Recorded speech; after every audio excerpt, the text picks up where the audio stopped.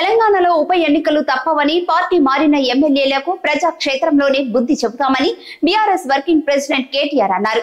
ఒకవైపు జాతీయ స్థాయిలో పార్టీ ఫిరాయింపులపై కాంగ్రెస్ పార్టీ శుద్ధపూస ముచ్చట్లు చెబుతోందని రాష్ట్రంలో మాత్రం రాజ్యాంగ స్ఫూర్తిని దెబ్బతీసేలా ఫిరాయింపులను ప్రోత్సహిస్తోందని దుయ్యబట్టారు.